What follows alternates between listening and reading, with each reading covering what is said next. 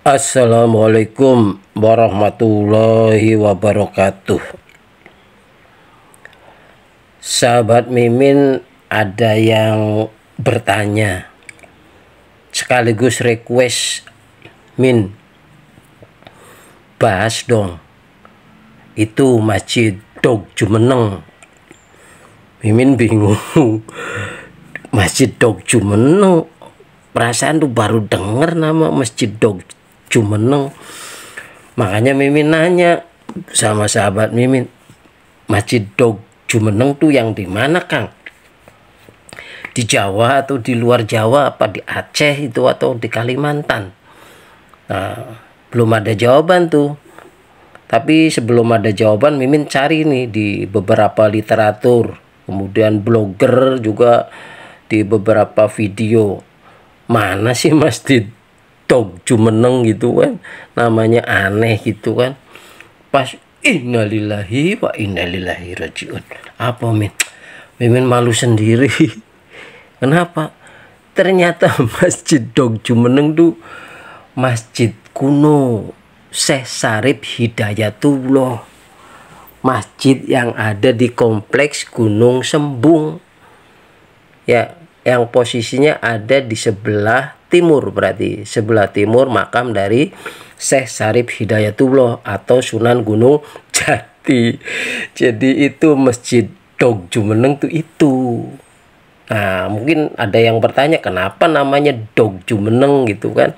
Ada juga yang mengenalnya juga dengan e, nama lain yaitu Masjid Sang Sakaratu tapi masyarakat lebih akrab termasuk masyarakat e, Gunung Sembung sendiri daerah Gunung Jati itu masjid Syekh Sarif Hidayatullah atau Sunan Gunung Jati.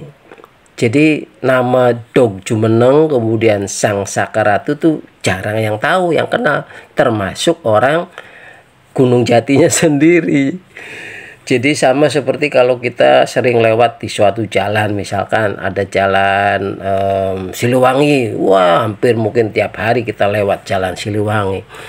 Suatu saat kita ditanya, eh kita mau ke sana ke dekat jalan Siliwangi, mana ya jalan Siliwangi? Kadang kita bingung, mana ya jalan Siliwangi? Padahal jalan itu sering kita lewati, mungkin hampir setiap hari. Jadi sama seperti itu. Nah, Terus kenapa kok namanya Dog Jumeneng? Kok aneh ya min nama masjid Dog Jumeneng? Jadi nama-nama masjid kuno khususnya di Cirebon itu tidak uh, istilahnya Arab minded. Jadi kalau zaman dulu kan misalkan uh, yang sekarang nih Masjid Baitur Rahman namanya kan gitu. Masjid Al Furqon, kemudian juga ada Masjid Al Hidayah gitu kan nama-nama masjid sekarang tuh. Nah, kalau dulu di Cirebon enggak. Jadi nama masjidnya ya sesuai dengan era waktu itu, zaman itu. Seperti masjid yang di Kasepuan itu kan Sang Cipta Rasa. Kemudian ada masjid kuno yang lain, masjidnya yang didirikan oleh Mbah Kuwu, Masjid Pejla Gerahan yang ada di belakang keraton Kasepuhan. Terus ada lagi masjid yang didirikan oleh Pangeran Nalarasa. Ya, utusan dari Prabu Siliwangi yang mau menjemput Pangeran Cakrabuana atau Mbah Cirebon. Itu namanya Masjid Jaga Bayan. Jadi namanya nama yang disesuaikan dengan kondisi saat itu. Ya, sebagian besar mengambil nama dengan menggunakan bahasa Jawa kuno atau bahasa Sansekerta. Karena masyarakat Cirebon khususnya ya, belum terlalu akrab dengan bahasa Arab. Ya, contohnya Jaka Takwa. Eh, menyebutnya orang Cirebon Jakatawa. Jadi dikiranya perjaka yang suka tersenyum, suka tertawa. Padahal si aslinya bahasa Arabnya itu Jaka Takwa. Nah, begitu juga dengan masjid eh, kuno Syekh Sarif Hidayatullah yang ada di Gunung Sembung. Namanya tuh Dog Jumeneng. Itu berdasarkan sejarahnya. Jadi Dog Jumeneng tuh artinya tuh tiba-tiba muncul. Gimana Min bisa tiba-tiba muncul? Jadi berdasarkan uh, cerita dari suatu versi, masjid ini tiba-tiba muncul jadi diterbangkan dalam waktu sekejap itu dari Kerawang oleh siapa? Syekh Kuro. Ya, penyebar agama Islam yang uh, istilahnya singgah di Kerawang bersama pasukan ekspedisi ya pelayaran dengan uh, jumlah uh, armadanya sekitar 70 ribu armada itu Laksamana Chengho. Nah, Syekh Kuro itu uh, singgah di Sema, di Kerawang dan menjadi penyiar agama Islam. Nah, kok kenapa Min uh, diterbangkan ke Cirebon? Jadi waktu itu kan berarti abad ke-13 atau 14. Jadi Pangeran Cakrabuana sendiri kan eh, istilahnya membangun pedukuhan diperkirakan sekitar abad ke-15. Dan ayahandanya yaitu Prabu Siliwangi hidup pada abad ke-13 atau abad ke-14. Jadi istilahnya lebih tua Syekh Kuro tuh angkatannya dibandingkan dengan uh, Mbah Kuwu atau Rara Santang adiknya atau Kian Santang. Dan kalau Sunan Gunung Jati kan uh, putranya dari Rara Santang. Sehingga angkatan Syekh Kuro itu adalah angkatan dari buyutnya Sunan Gunung Jati yaitu Ki Gedeng Tapa. Nah, Ki Gedeng Tapa itu merupakan raja dari kerajaan Singapura yang sekarang ada di Desa Sirnabaya, Kecamatan Gunung Jati, Kabupaten Cirebon. Dan putrinya namanya Nyai Subang Larang yang akhirnya menikah dengan Prabu Siliwangi. Dan hasil pernikahan uh, Nyai Subang Larang dan Prabu Siliwangi itu dapat tiga putra dan putri yaitu uh, Walang Sungsang, Rara Santang, dan Kian Santang. Jadi masjid ini ada dan hadir di Cirebon tuh istilahnya pada era Ki Gedeng Tapa atau Syekh Kuru atau juga seangkatan dengan Syekh Datul Kafi atau Syekh Nurjati. Karena Syekh Nurjati sendiri sudah ada di Cirebon sebelum Pangeran uh, Walang Sungsang datang ke Cirebon setelah meninggalkan kerajaan Pajajaran. Jadi umur masjid ini sudah sangat tua dan nampaknya ini adalah masjid tertua dibandingkan dengan masjid-masjid yang lain, masjid tua di Cirebon seperti Pejelagrahan itu kan masjid yang tua di belakang Keraton Kasepuan. Nah, itu diperkirakan e, dibangun tahun 1450 Masehi. Kemudian Masjid Sang Cipta Rasa 1485-an Masehi. Kemudian ada Masjid Jagabayan. Nah, Masjid e, Dog Jumeneng tuh dibangun sebelum masjid-masjid itu. Terus kenapa kok dihadirkan di Cirebon. Nah ini orang zaman dulu kan sakti bahkan kadang bisa membaca ada kemungkinan apa yang akan terjadi di berikutnya. Jadi diberi karomah ya kelebihan tersendiri. Dan Syekh Kuro meyakini bahwa suatu saat di daerah Cirebon itu akan hadir seorang tokoh ulama besar penyebar agama Islam. Makanya beliau menghadiahkan sebuah masjid ya yang akhirnya masjid ini diberikan kepada sang ulama yang terkenal yang akhirnya menjadi pimpinan Wali Songo yaitu Sunan Gunung Jati. Jadi diterbangkan wus dalam waktu satu malam. Ya dititipkan sama Syekh Datul Kafi untuk nanti diberikan kepada Sunan Gunung Jati. Makanya dinamakan tuh Dog Jumeneng. Jadi tiba-tiba muncul.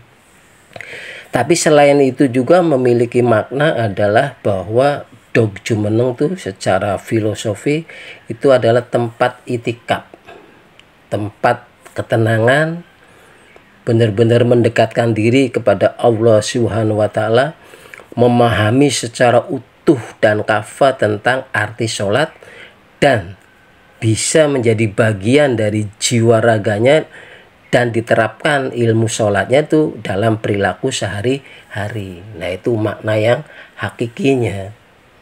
Jadi masjid ini uh, ini sudah banyak mengalami uh, renovasi. Jadi masjid aslinya tuh ukurannya 20 kali 20 meter.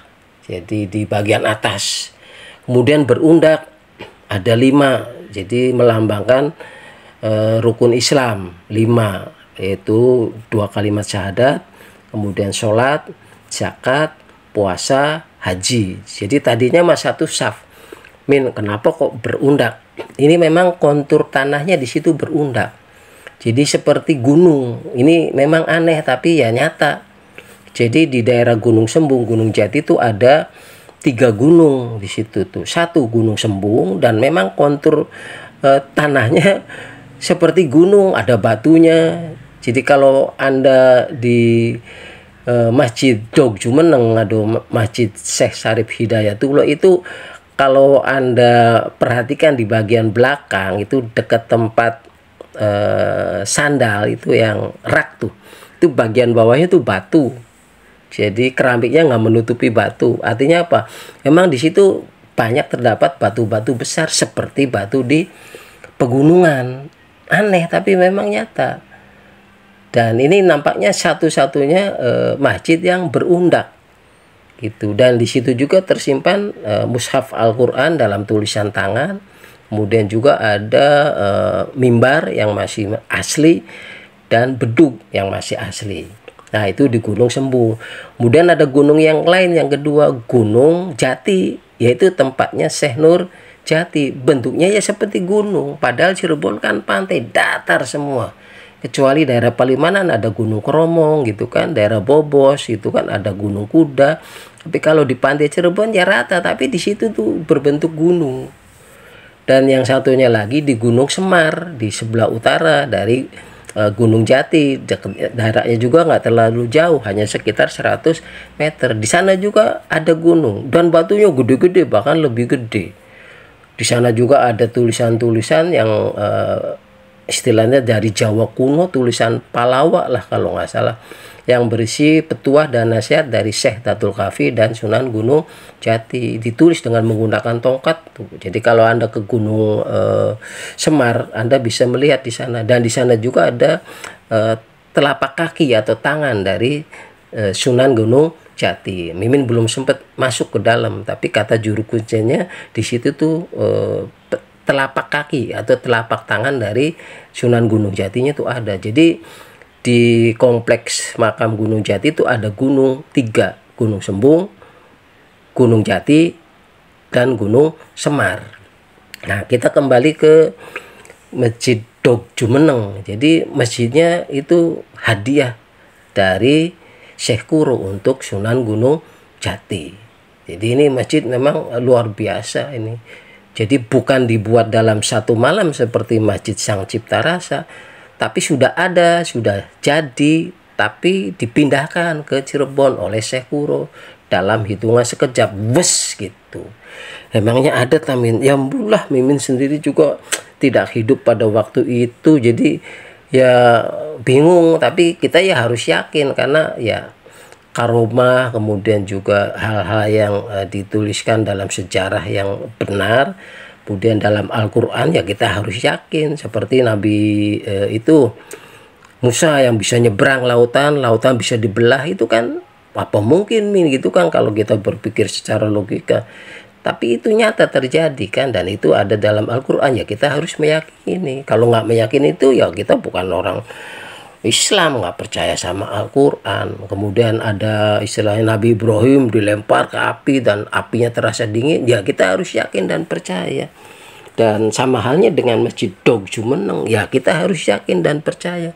Itu bisa terjadi. Walaupun kita ya istilahnya hanya Allah yang tahu. Dan Sekuro juga yang tahu. Jadi eh, terbang dalam waktu sekejap.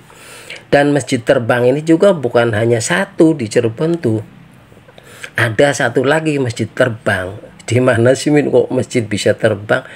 Di ini masjid Syekh Abdurrahman yang ada di daerah Kaliwulu. Masjidnya Ki Gede Kaliwulu.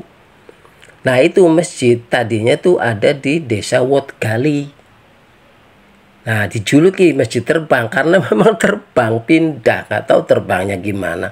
Jadi pondasinya itu masih ada di Wat Kali. Sekitar tahun 1970-an itu masih ada kelihatan pondasinya. Ya, kemudian sekarang sudah beralih fungsi, sudah banyak rumput, jadi sudah nggak kelihatan lagi. Nah, kemudian kenapa bisanya terbang? Ya pindah tanpa pondasi karena pada saat eh, renovasi perluasan masjid eh, Ki Gede Kaliwulu itu kan digali tuh untuk bikin pondasinya. Ternyata di masjid inti masjid yang lama digali ke bawah tuh nggak ada batu batanya. Jadi bata bagian dasarnya itu berada di atas tanah jadi nggak ada pondasinya jadi benar-benar kayak digotong gitu. Kok kalau papan atau kayu mungkin masjidnya bisa kan masih digotong. Ini mah bata gitu dipotong. Ya mungkin terbang beneran. Ya ya itulah tentang masjid Dog Jumeneng yang ternyata itu adalah masjid kuno Syekh Sarif Hidayatullah Masjid Sunan Gunung Jati yang ada di Gunung Sembung dan e, di Gunung Sembung itu sekarang menjadikan tempat peristirahatan terakhir dari raja-raja baik di keraton e, Kesepuhan maupun keraton Kanoman dan juga ke Cirebonan serta ke Prabonan. Dulunya itu merupakan tempat tinggal dari Syekh Sarif Hidayatullah dan juga tempat e, pengajiannya.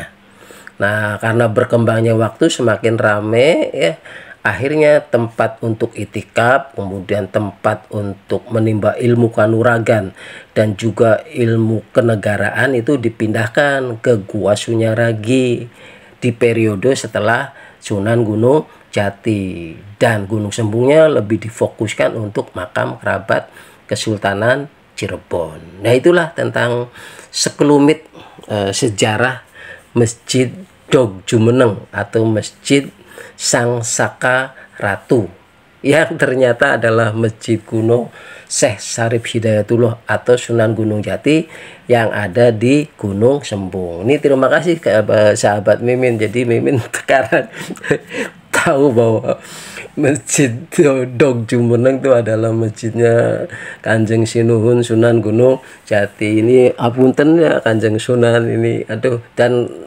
rata-ratanya nampaknya ya tidak banyak yang tahu bahwa Masjid Syekh Sarif Hidayatullah itu nama aslinya adalah Masjid Dog Jumeneng. Ya, semoga informasi ini bermanfaat. Kalau benar jangan disalahkan, yang benar kalau salah mohon dibetulkan. Kurang lebihnya mohon maaf, terima kasih. Wassalamualaikum warahmatullahi wabarakatuh.